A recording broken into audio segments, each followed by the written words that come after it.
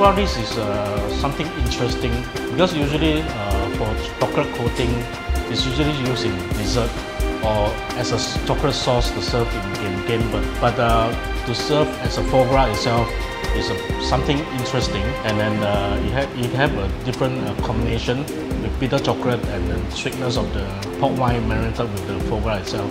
So we also get different textures also.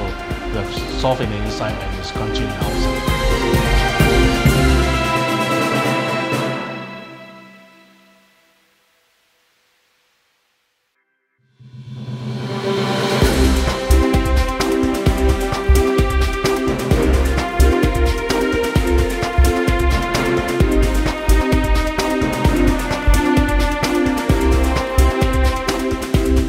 Very intelligent use of ingredients, uh, especially with the compressed watermelon, right? It intensifies the taste uh, and the flavor. And of course, he pairs it off with uh, tomato gazpacho and with a little bit uh, acidity, which comes from the raspberry vinegar. And the vinegar adds uh, a flavor to the, the whole dish itself too.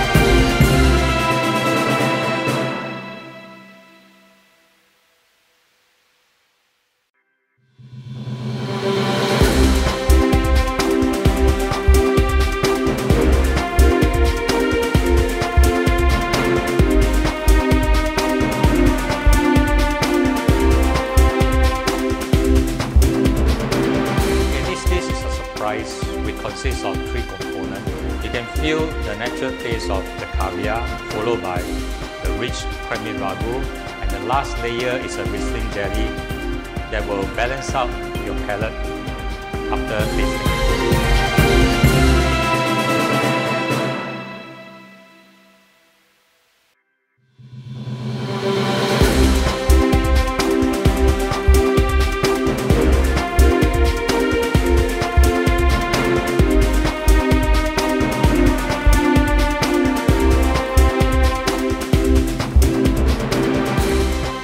This is a Norwegian salmon, which is actually poached in milk, in a milk bath.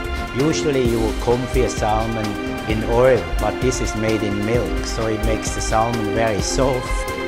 And then you serve it in a parsnip soup, uh, which is uh, a little bit creamy, you know. So you have the soft texture of the fish, and then you have the creamy soup, and then it is garnished uh, with Japanese tobiko, and uh, there is some Japanese uh, crispy rice. So you have a lot of different textures.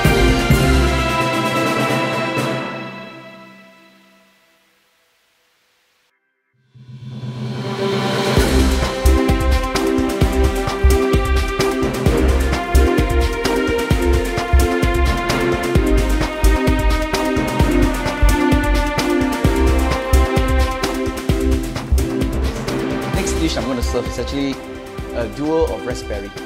Uh, the fresh raspberries is split into two components.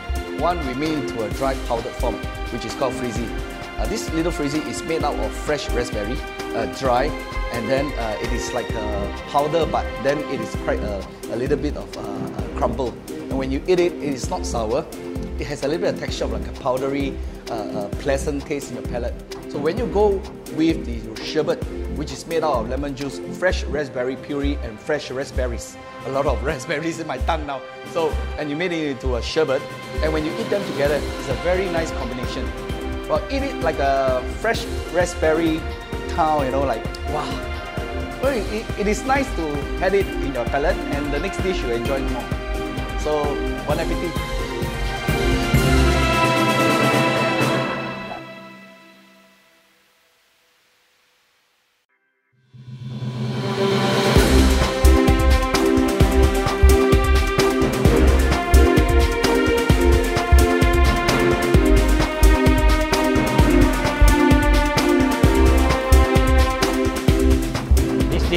Classical dish. I first learned it when I was a kitchen helper.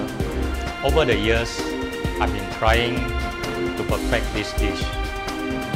And uh, why it's so special about this dish is this chicken is specially farmed and it's fed with a special grain. That's why it's so flavorful. It This dish is also a winning dish by the Singapore national team and I would like to share with all of you.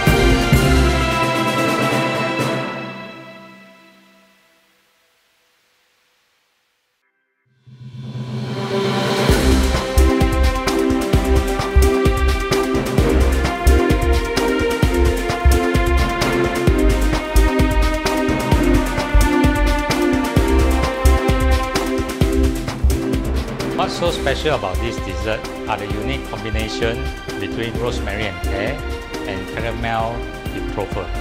And the biggest surprise is in the chocolate ball.